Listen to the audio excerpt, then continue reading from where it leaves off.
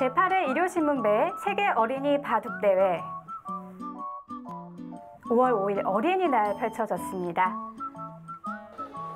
네, 그동안 배웠던 바둑 실력을 마음껏 뽐낼 수 있는 자리가 열렸는데요. 그렇습니다.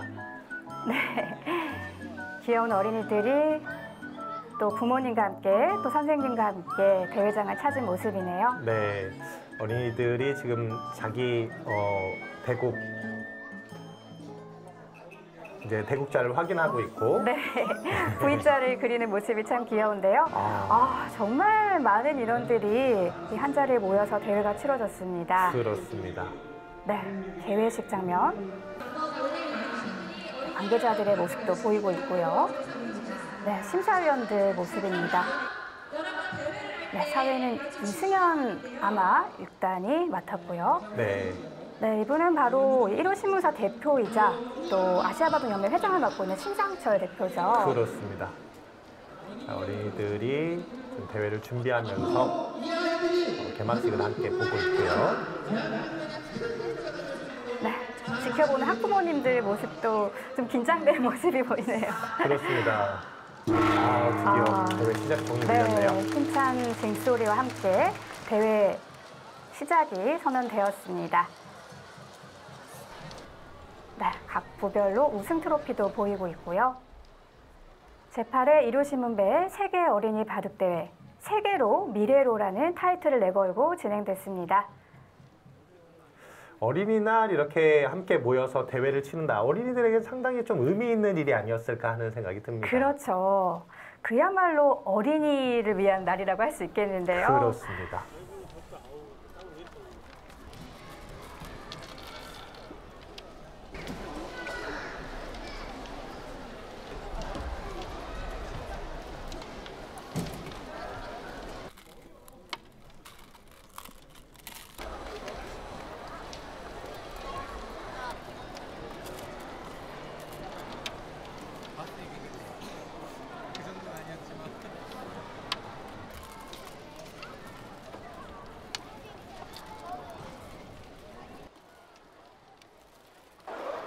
일요신문이 아, 꿈나무 육성 어, 프로젝트라고 하는 그런 계획을 가지고 꾸준히 지금 해오고 있는 사업 중에 하나지요. 대한민국에서 가장 큰 어, 대회가 아닌가라는 생각이 들어서 어, 주최하고 있는 주최사로서는 상당히 흐뭇한 생각이 많이 듭니다.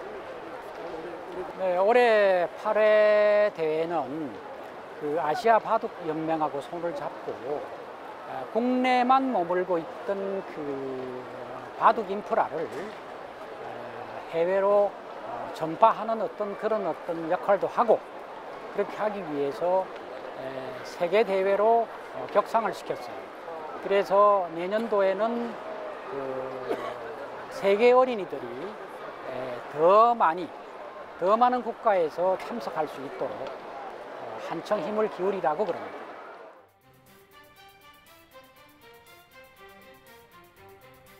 네, 유단자부 결승전입니다.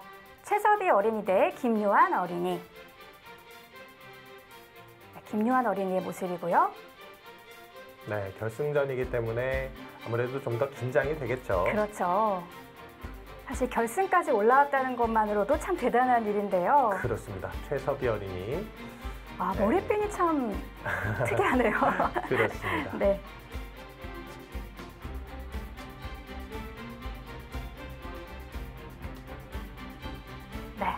한국 바둑의 미래를 이끌어갈 유망주들의 대결입니다. 1호 신문배 세계 어린이 바둑대회 유단자부 결승전입니다. 제한 시간은 10분, 초읽기 20초 3회가 주어지겠습니다. 네, 김요한 선수의 흑번, 최섭이 선수의 100번인데요. 네, 김요한 선수는 성원초등학교 6학년에 재학 중이고요. 최섭이 어린이는 서화초등학교 5학년 학생입니다.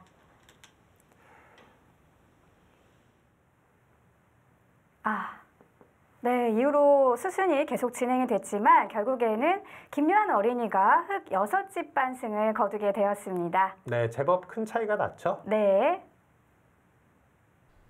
네, 김요한 어린이 대 최섭이 어린이의 유단자부 결승전. 네, 김요한 어린이가 승리를 거두면서 대망의 우승을 차지하게 되었습니다. 네, 마지막에 이제 개가까지 하고 있는 모습이고요. 네. 아, 김요한 어린이 정말 어린 어린이답지 않은 노련한 반면 운영을 보여줬습니다. 그렇습니다. 어, 리틀 이창호 같은 느낌이었어요. 맞아요. 네, 최섭이 어린이 참 예쁜 머리핀을 꼽고 오늘 바둑을 두었는데 어, 잘 싸워줬어요. 네, 사실 그렇습니다. 어, 이 시기에 한 살 차이는 크거든요. 네 번째로 참가하는데 처음으로 우승해서 좋아요.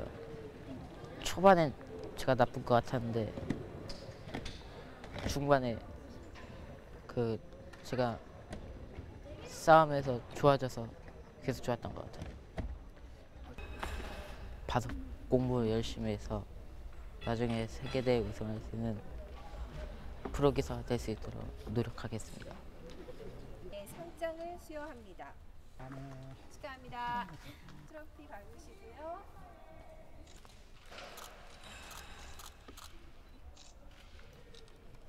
네, 우선 제8회 일요신문배 세계 어린이 바둑 대회 아, 페이스 페인팅이 부대 행사로 열렸는데요. 네, 보통 이 일요 신문배가 어린이날 개최되는 경우가 많다고 해요. 네. 어린이들에겐 그야말로 정말 축제의 장인 것 같아요. 그렇죠.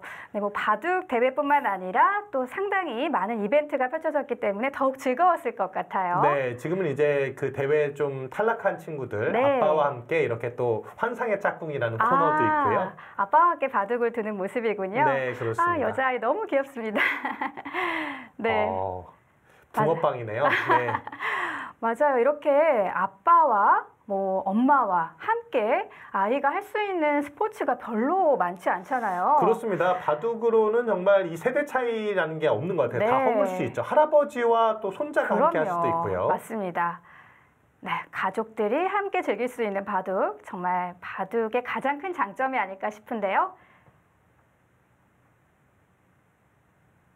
네, 자녀들이 바둑을 두는 모습을 보면 이 부모님도 참 흐뭇하실 것 같아요. 네, 그렇습니다. 네. 어, 아빠 눈치를 보나요? 아니면 아빠가 잘못 뒀다고 핀잔을 주는 건지도 모르겠는데요. 아, 네. 이민준 프로의 또 아, 담영기, 네. 담영기 행사도 네. 열렸는데요. 김혜민 프로의 모습도 보이고요. 네. 이민진 프로의 모습입니다. 또 아기 엄마이기 때문에 더욱더 네, 진지하게 대국을 해주지 않았을까 싶고요. 네. 유재성 프로의 모습도 보이고 있네요. 또 이렇게 대회 출전해서 프로 기사와 이렇게 담연기를 한다면 또 좋은 추억이 되겠죠. 맞습니다.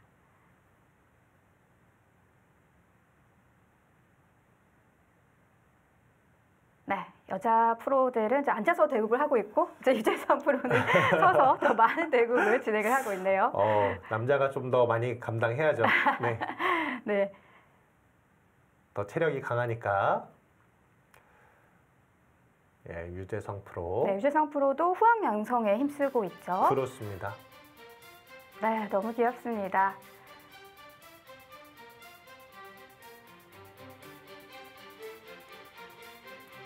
네, 네, 역시 어린- 진지한 모습이죠. 그렇습니다. 네, 최강부라면 뭐 19개의 부문 중에서 가장 꽃이라고 할 수 있는 네, 그런 부인데요.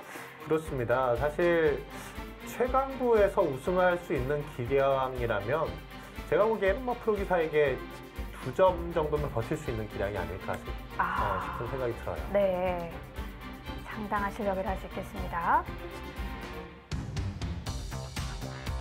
어, 귀가 아주 잘생겼는데요.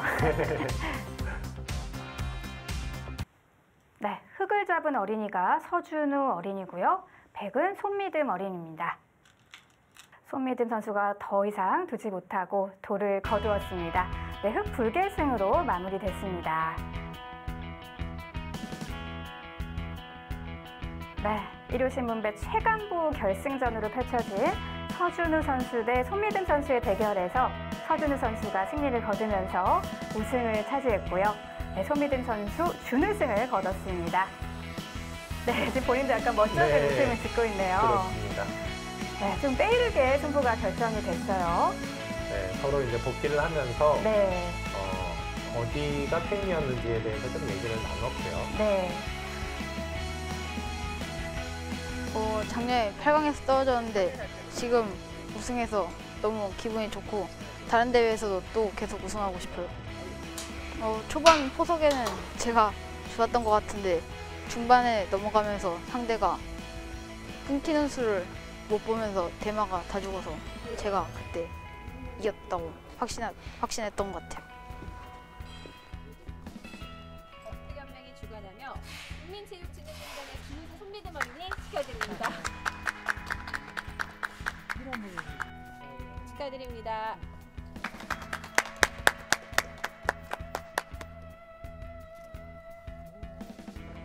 장래희망은 바둑 프로 기사고 어